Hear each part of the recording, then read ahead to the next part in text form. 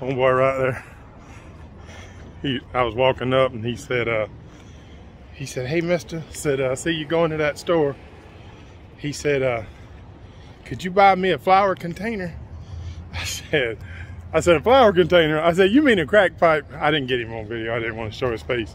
I said, you mean a crack pipe? I said, buddy, I can't buy you a crack pipe. Come on, mister, come on. He said, well, give me a cigarette. So I went on in there. I was getting some beers. I'm out of beer. I'm gonna get my truck here in a day or so. So I'm walking I only about two blocks from the boat. I buy him black and mild, give him a cold beer. I'm wrong with that, brother, but I can't be buying no crack pipe. Can't do it. Yep, the people you meet on the loop. oh well.